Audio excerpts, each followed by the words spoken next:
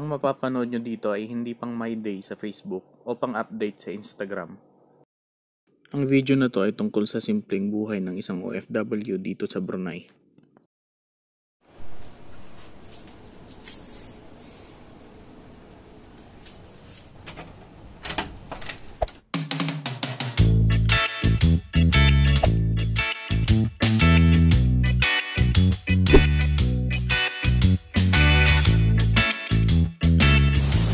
Guys, uh, nabigyan tayo ng day off pero ginawa nyo naman, umuulan. Tsaka wala pang ano, wala pang akong pera, wala pang sahod. Kaya ito lang muna ang breakfast natin. Tara magluto.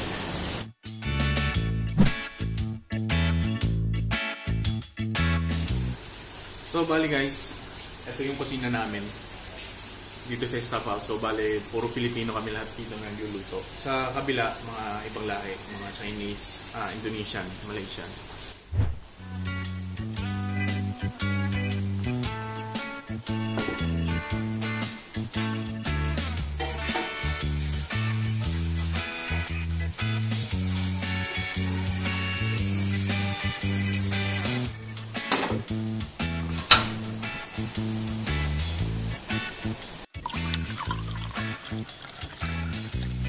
Mm-hmm.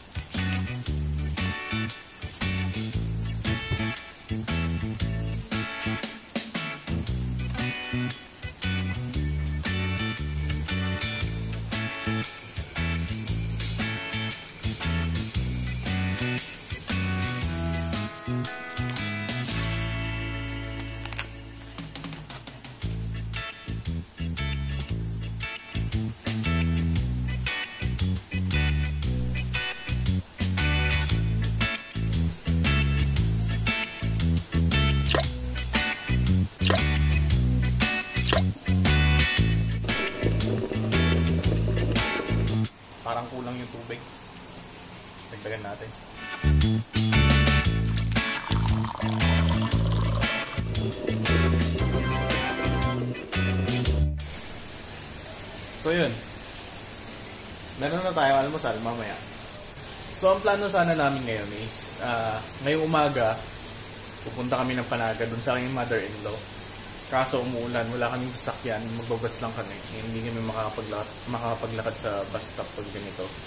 Kasi baha din sa daan.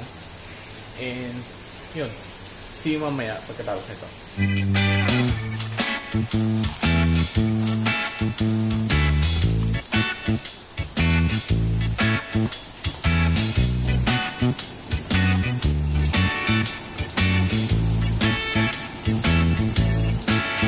One hour later.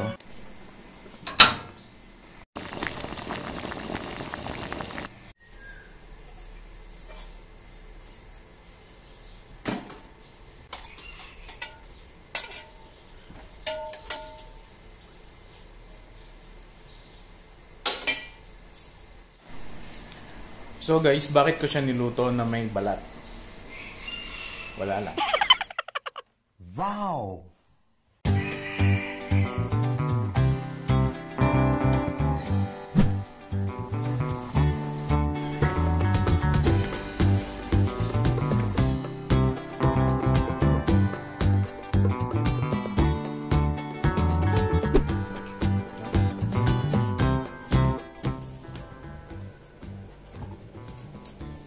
Niya magpakita sa camera.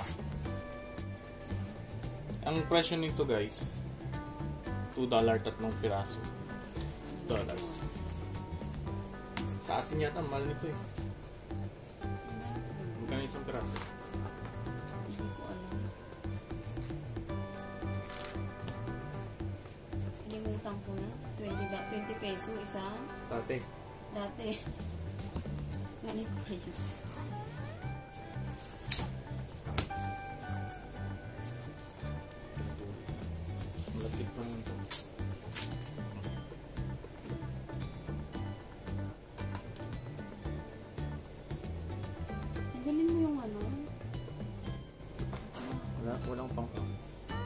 Asin kanina. Hindi. Kailangan ba? Meron na. Ano lasa nito? Sarap. Kuha ko ng asin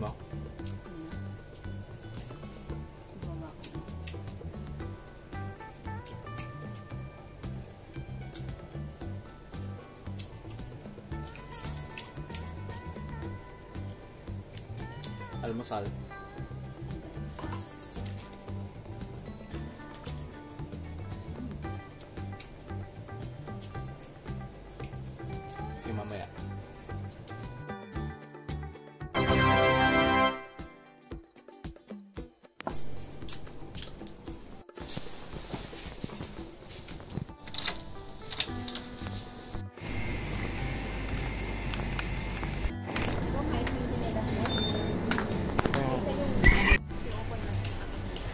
Sasakay kami ng bus Kasi kasi wala kaming sasakyan. wala kaming car.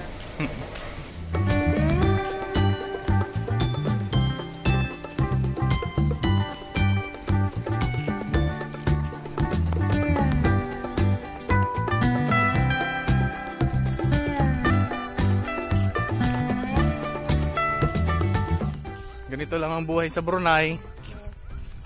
Kainin. Tahimik. Lalakad. Doon pa yung lalakarin namin napakalayo. Pero ganun talaga, walang ano eh, walang car eh. Is ganda ka daw.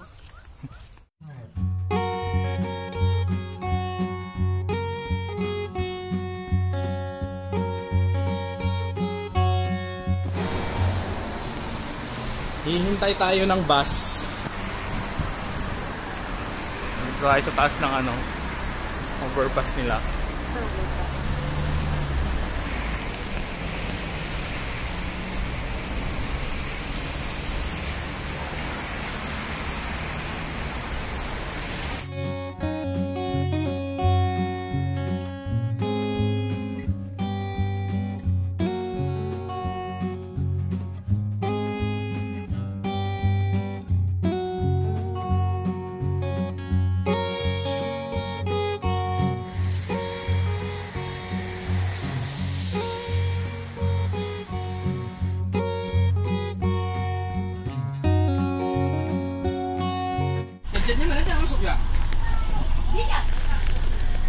Nakasakay na kami.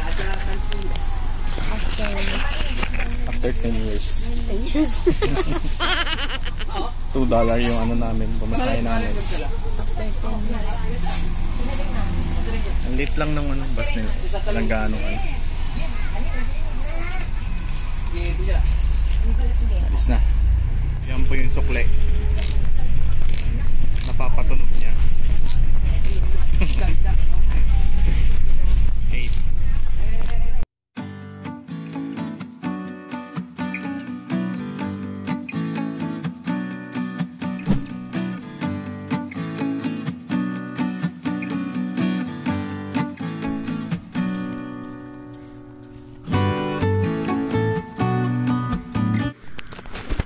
So andito na kami sa Panaga. Bumaba na kami sa bus.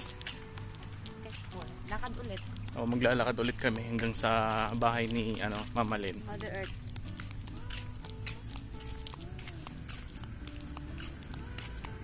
Medyo malayo. Buti walang unggoy. Takot sila sa akin. Malahim. Baka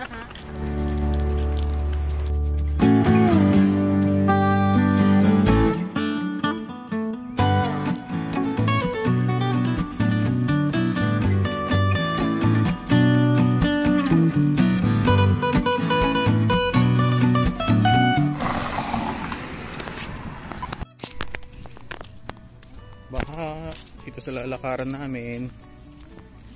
No choice.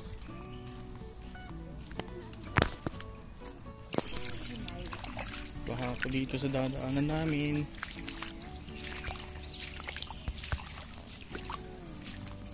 May shortcut kasi dito.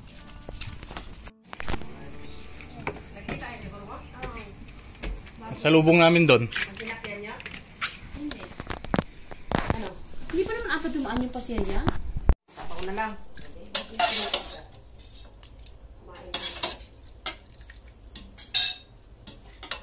Tamis ng papaya, be.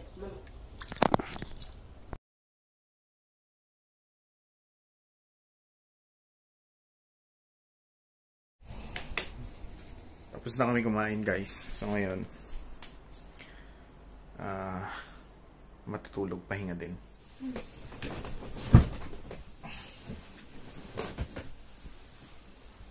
Sarap patulog.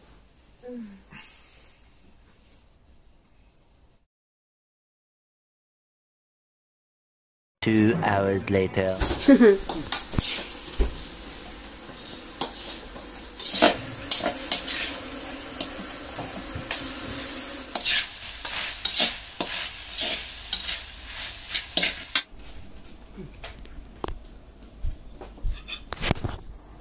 Kain. Dapat dito. Yung, Yung akin wala. gawa ka sarili mo.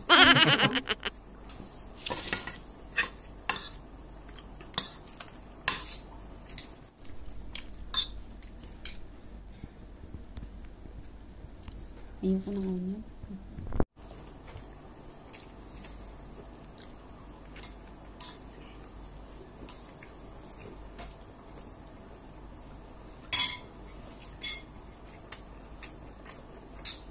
Kausap niyo si Ted? Kanina. Tingnan mo mahal kung ulit.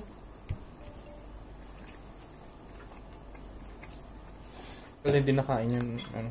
Tapo na yun.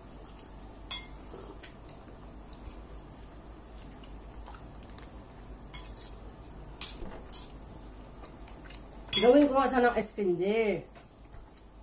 ano? Ito. Pagkatapos kumain ay tumawag kami kay Sed sa Pinas. Tingin laruan mo si Ted, patingin.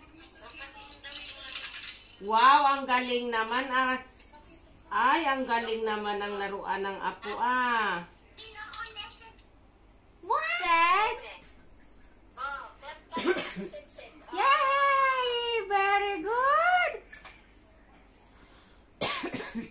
Ma, ma, Ngayon guys, dinner. Magluluto tayo ng tinapa. May binibentang ganito, $5. Anim na, ay, hindi. Oo, anim na piraso. Tara, prito natin.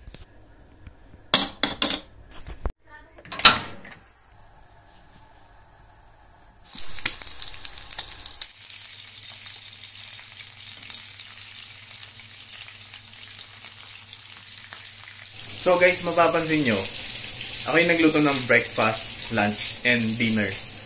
Ah, pag may pasok kasi, lagi akong binabaunan ng misis ko. So, day off namin, kaya babawi naman ako sa kanya. Ako naman yung magluluto para sa kanya.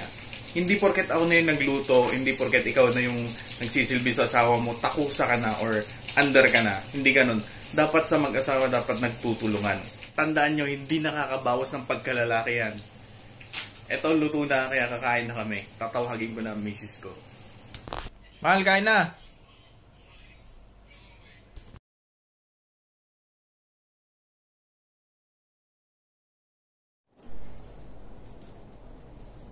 Tinapa. ay, ay, ay, nahurag yung ulo. Wala pang 5 minutes, sabi nga ni Sid. Pantay.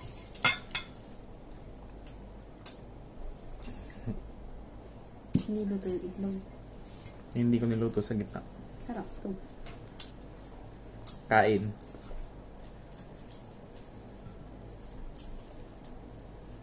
Kain na naman sa kala ko dahil tayo. Kain ulit. Hindi maanap ka na pa. Hindi po. Suka. Masarap. Sinong gumagawa ng tinapa? Jen. Pagdadam lang, no? Ayos oh. Yung suka. Mandal na may ang galunggong. Yung? Wala doon.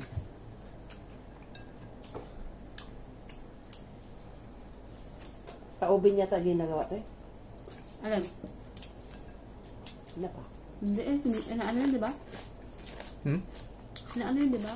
Nusukan. Inuusok? Hmm.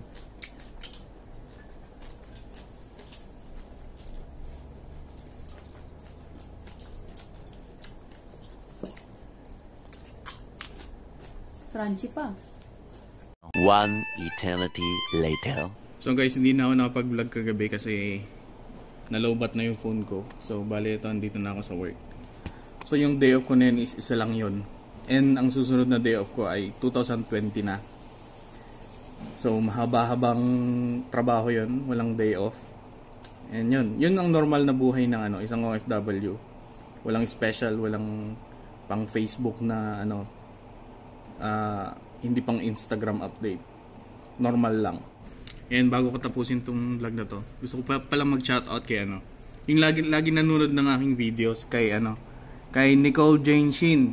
Shoutout sa iyo, ingat ka lagi diyan sa Saudi, sa Saudi Arabia. And kay Janelle Bildad ng Riyadh, Saudi Arabia. Tsaka kay Wendy Wendy ng Kuwait. Shoutout sa inyo. Ingat kayo lagi dyan. And kay Donalyn Marie Tolentino ng Riyadh. And kay Dolly Parocha ng Hong Kong. And kay Camille Gano ng Dubai. Kay Annalyn Katadman ng Riyadh, Saudi Arabia. Ah, shoutout po sa inyo, ma'am. Ingat po kayo lagi dyan. And yun, yung napanood nyo na vlog last off day ko na yun and next na off day natin is 2000 ano na 2020 na next year na so yun yun lang yung normal na ginagawa ko sa ano sa day off walang special. Hindi pang Facebook hindi pang Instagram. And yun hanggang dito na lang. Reg TV nga po pala huwag kalimutan mag comment like and subscribe and sana happy tayo lahat. Peace and goodbye. Low back up, here I'll never let the doubt creep in. Gotta pop a couple more aspirin. I don't think I'll ever let you